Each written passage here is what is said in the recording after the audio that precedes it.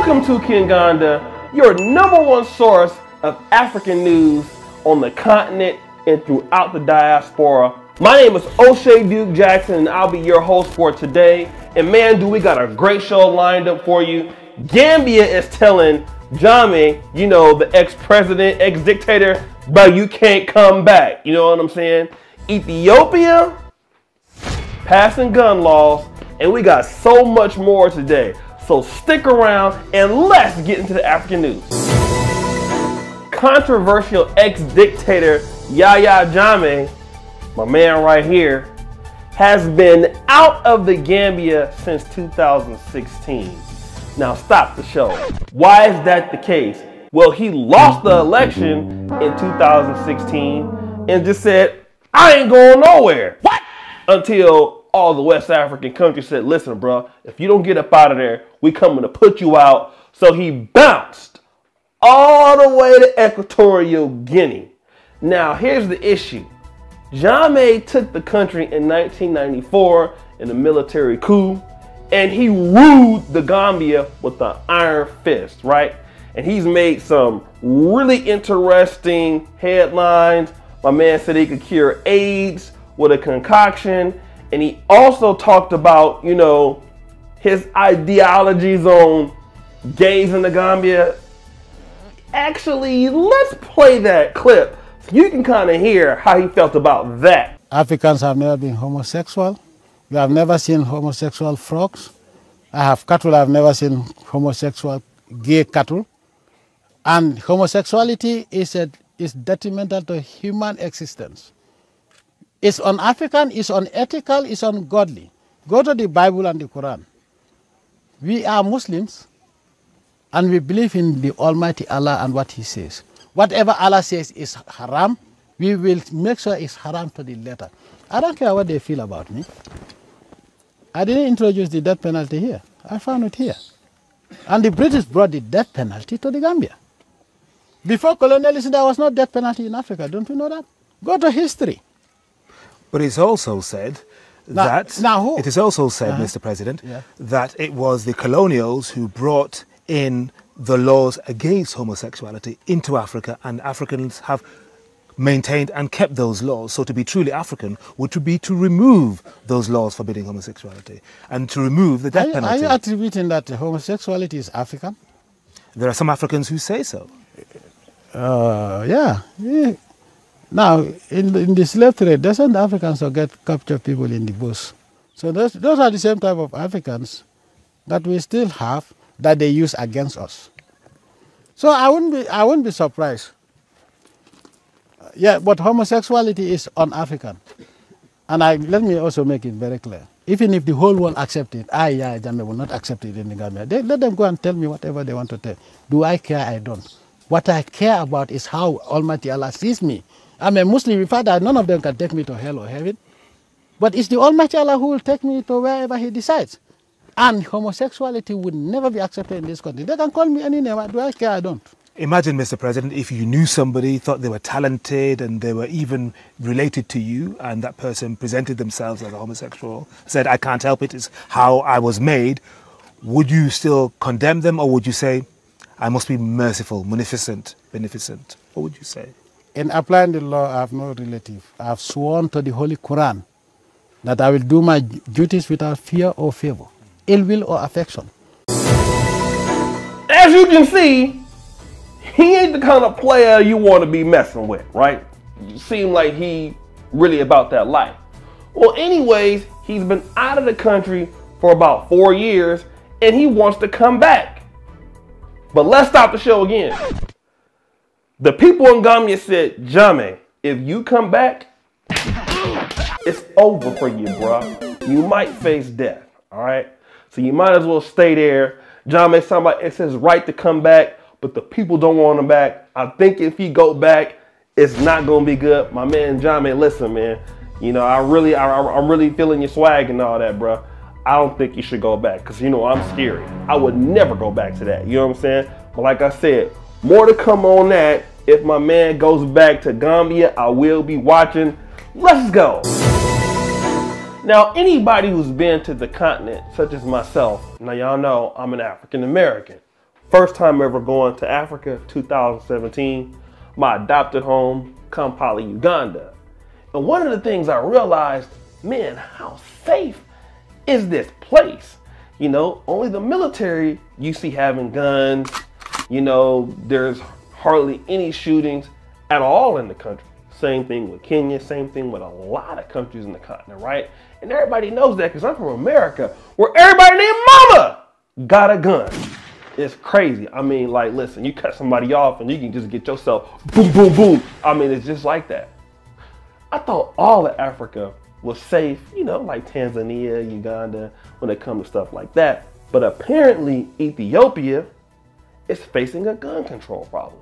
Now, there was some ethnic violence that happened, you know, not too long ago, where a lot of people's was basically dealing with the handgun situation. People was just getting shot and killed and things like that.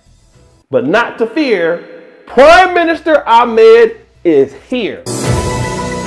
Now, last April, Prime Minister Med said there was over 21 machine guns and over 33,000 personal guns found by government officials.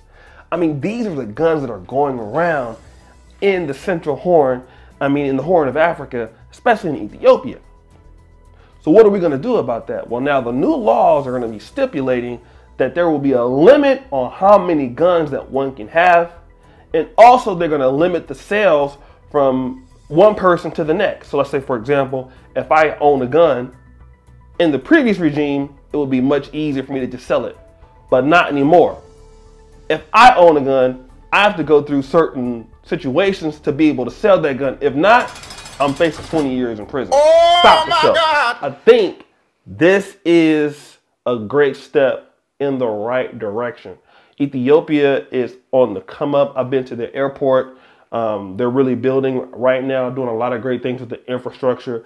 The, the, this country is really one of the most uh, underrated in Africa with so much potential. Shout out to all the coffee beans and stuff there, right? So we want to make the continent safe Ethiopia is on the right path because I hate to say it, you don't want to become little America in Africa. So the new regime is doing something great with limiting these gun laws to make other people safe, especially in places where ethnic tensions are pretty high. So shout out to Prime Minister Ahmed. So we're going from Ethiopia all the way to Somalia with it. Well, kind of, sort of. Demon, actually, let's change that flight. We going to Somalia all the way to the UK with it. That's right. Now, I know we're talking about Africa. Why are we talking about the United Kingdom? That is a great question. Geez, you're smart.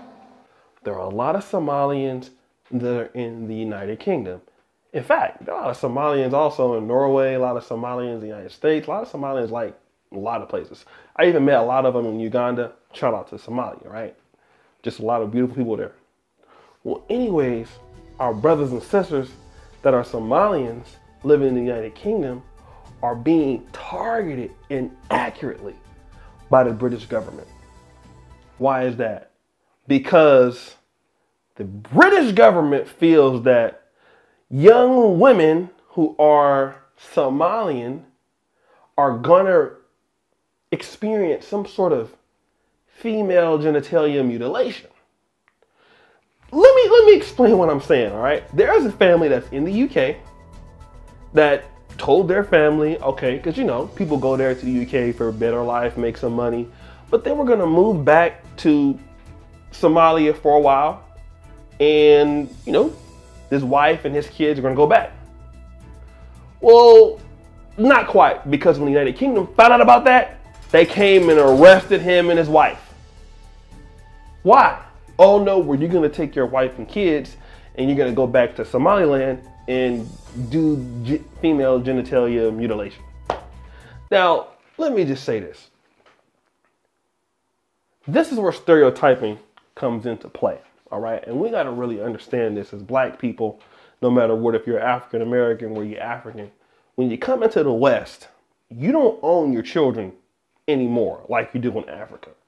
They own your children. Okay, once you step foot on the UK soil and you make that trade and you come to United States soil, they own your children. You don't. And if they believe that this is what you do because they heard about it or they stereotyping it, then that's they're going to act on.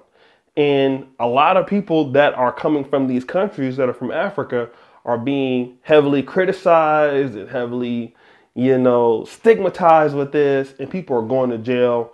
And the Somalians are not really feeling that. We just got to understand this. This is why it's important for the, the issues in Somaliland to be resolved so that the people can go back home. I met a lot of refugees living in Uganda that are Somalians and they love their country, wish they can go back.